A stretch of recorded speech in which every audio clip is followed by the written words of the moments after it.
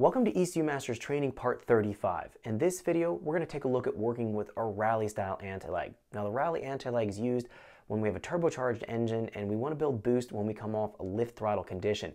It's going to be able to pull ignition timing and add fuel and cut spark in order to build that boost. And as soon as we come back on the throttle, it's going to have boost available right away. We don't have to wait for it. So essentially, we don't have to worry about a laggy turbocharger.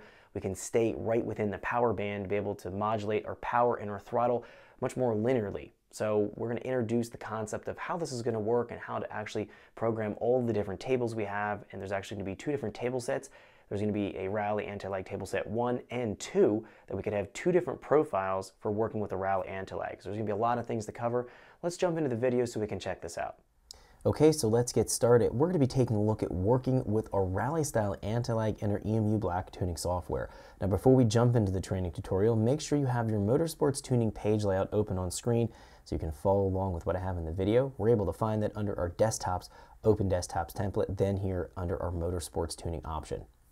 Let me click cancel here since I already have it loaded onto my laptop. We're going to find that we have our setup page here. That's going to be our primary page. We're going to move across all the way into a page called ALS. That's going to be our Rally Anti-Lag. And this page, we're going to be able to configure all the programming details and all the table configurations here. So it's going to be working as we'd like. Now, before we jump in and talking about the actual rally anti-lag, let's talk about what we have on screen here. Then we'll cover the concept of rally anti-lag and what we're trying to accomplish. Then go through an example here of programming all the conditions and then simulating what that's going to be looking like so we know what to watch for in order to make sure this is working right. So the upper left-hand corner, we're going to have our basic live data screen here uh, showing us all of our information we need to log or take a look at. We also have our fuel live information. We have our ignition live information, drive-by-wire. This is going to be if we use drive-by-wire in conjunction with the rally anti-lag. If you're not drive-by-wire, you don't need to worry about this. Everything in the window here will be zero. That's not going to be used.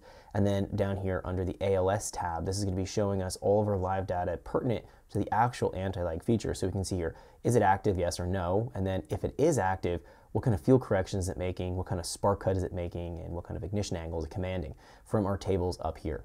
So uh, we're going to find that we also have a wideband air fuel reading and then a map pressure reading. And we want to keep track of what the widebands are reading when the rally anti-lag is enabled. If we need to add more fuel, then we're able to accomplish that in our fuel correction table.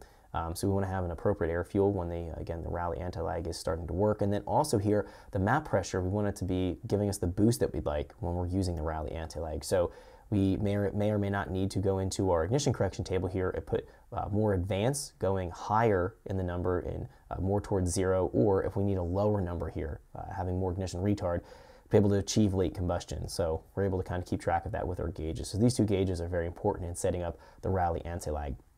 We're also going to have our graph log that we can play back here, take a look at any of that live data within our cursor in our window, um, and or plot things graphically. So we always want to keep track of what this is doing in any window we're going to have our parameters in here. Uh, this is going to be the actual programming details to make sure this works. These are going to be things uh, telling when to turn on, when to turn off. So very important.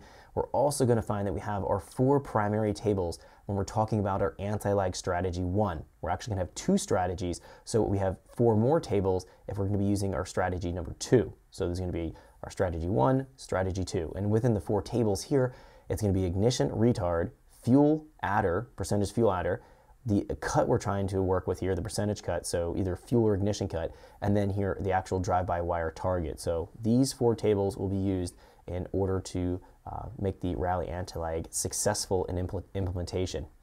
And then um, if we jump back in here, this again will be the programming details that we need to configure and work with. So now that we talked about what we have on screen, let's talk about the idea of the rally anti-lag.